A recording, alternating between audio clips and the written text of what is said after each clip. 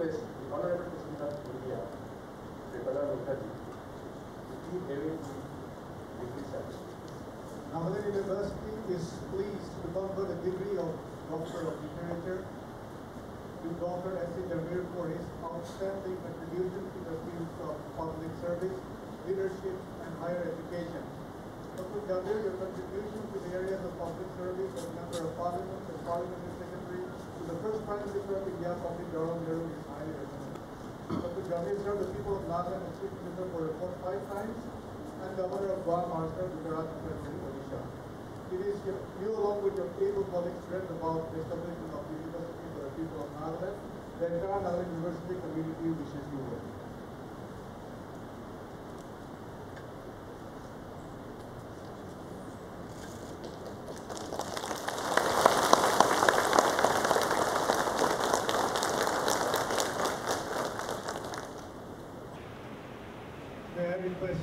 Honorable President of India, Shri Pranab Mukherjee, to give the following are the candidates for Doctor of Philosophy, Aulatna Pomoner, Aren Monga,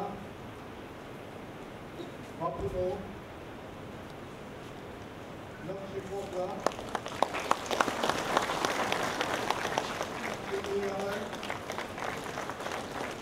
Kamala,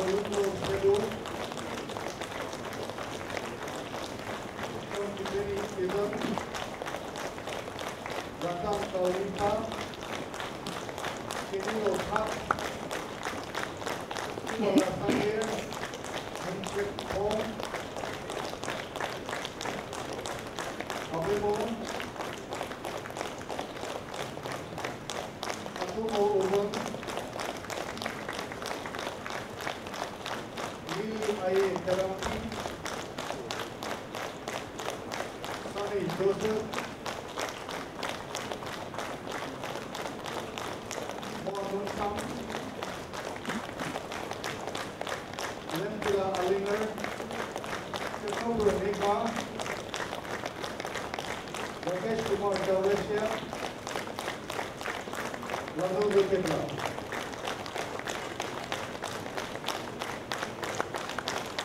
Thank you, sir.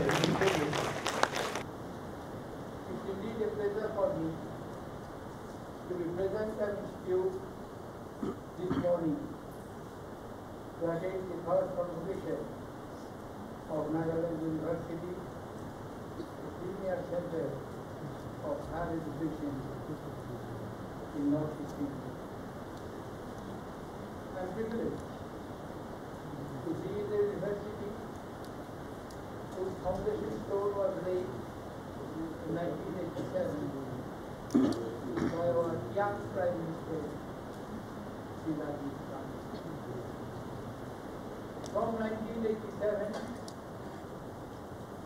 to the movement of the university campus and formally launching the various courses and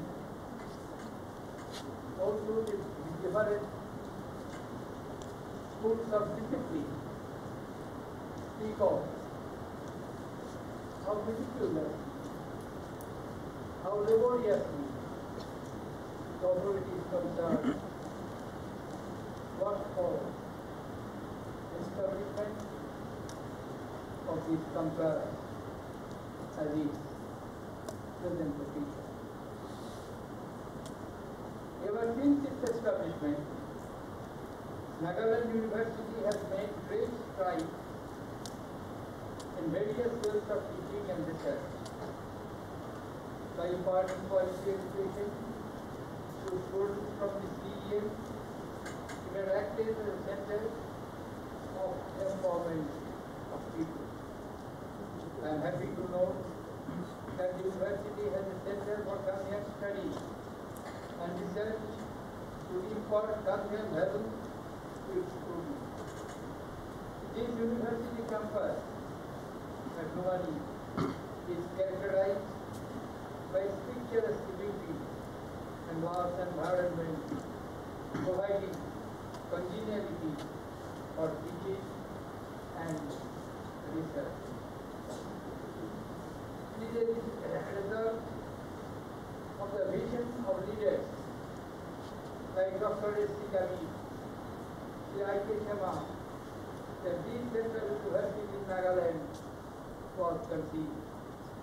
I am happy to confer today the honorary degree on Dr. Jamir and Professor Minal Meri, another renowned personality in the world of academics, for their outstanding contribution to the advance of education in this state.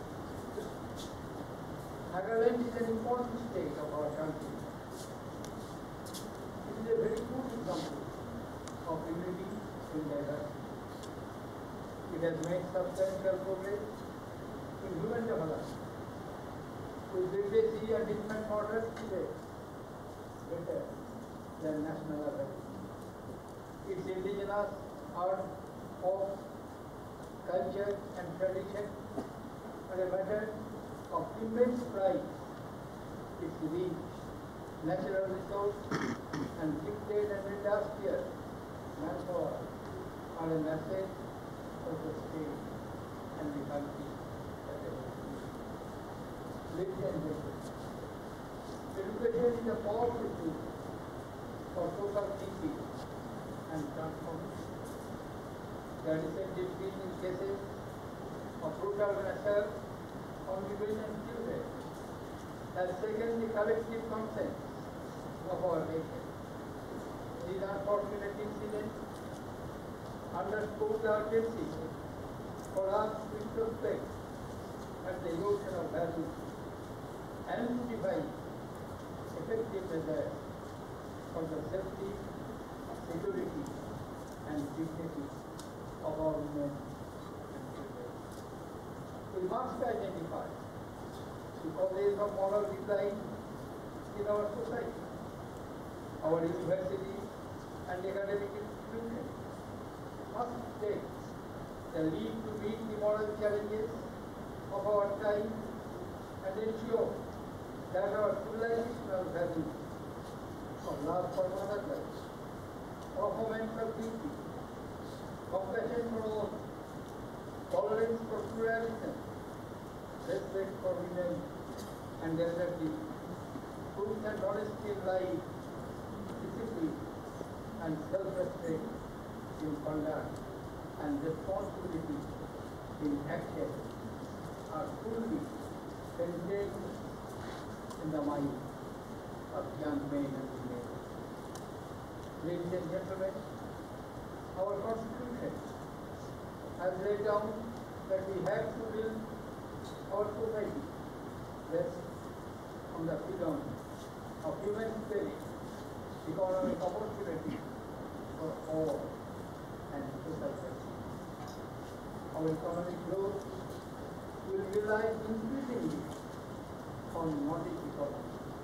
Thus, a sound higher education system in our country is an imperative.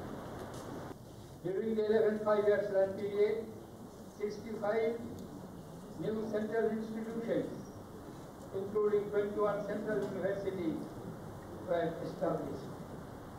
Except for one state, there is at least one central university in every state of the country.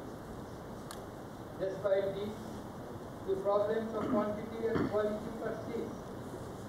We are deficient in the number of quality academic institutions on account of which many bright students go abroad for higher studies. There are more than two lakh Indian students studying abroad, including US and UK. We should be able to draw our students to seek higher education in their own country. As per an international survey, there is not a single Indian university amongst the top 200 universities in the world. There was a time when we had world-class universities like Nalanda, Saksada, and Vikramshila. Famous travelers and historians like Fahien and Wangchang to India in those days, traveling long distance from remote provinces of China to study in the university. The culture of excellence should be embedded in our thought process. Every university should identify one department that can be developed into a center of excellence. I call upon the central university to take the lead in this transformation. To effect innovative changes to strengthen the higher education sector, a conference of the Vice Chancellors of Central University was organized in the Rashtrapati Bhavan in February this year. Conclusions arrived at the conference on the measures required for effective changes in the education system are being worked upon by the Ministry of Human Resource Development. I hope that we will achieve substantial progress in a short span of time.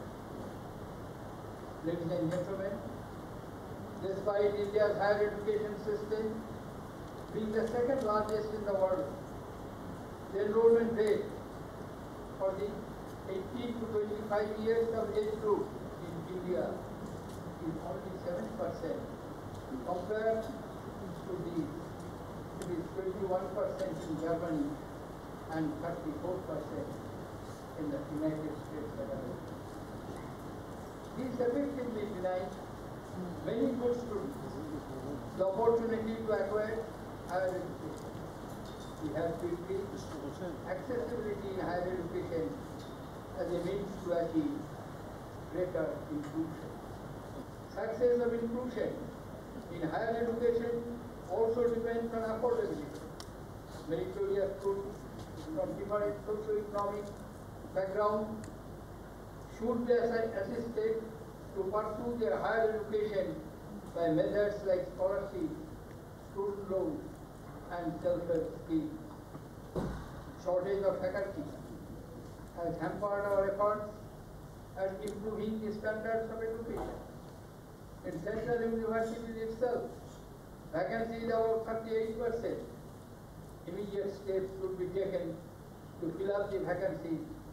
To tide over this crisis, we must also resort to technology solutions such as e-classroom. Our teachers must possess the latest information and knowledge so that they can give their students the best uh, education. The refresher program organized by the academic staff college should be reviewed more frequently to retain their relevance to contemporary teaching.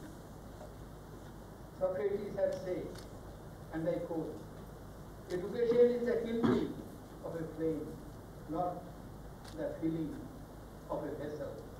Unquote. We need teachers who can save the thoughts of the young mind by their courage of conviction, deep knowledge of the subject, extraordinary communication ability, and inspired teacher can not only assist the student in understanding and appreciating a subject from a wider perspective, but also encourage them to question their own knowledge. Here I just like to tell you a story. It is about a mathematician in Bihar. He was a student of the first year. One of the most distinguished teacher of mathematics of Patna University was taking a class. Normally he does not take class beyond the, below the degree courses. But he took a class in the first year. On the blackboard was trying to solve the problem. But somehow the problem was not being resolved. A student got up and drew his attention and pointed out that to this method, it will never be solved. The teacher was both annoyed and surprised. He said, how could you say it? He said, sir, if you permit, I can come to the board and solve. He came, solved the problem. And he said that this can be solved in twenty more other ways. The teacher being annoyed at the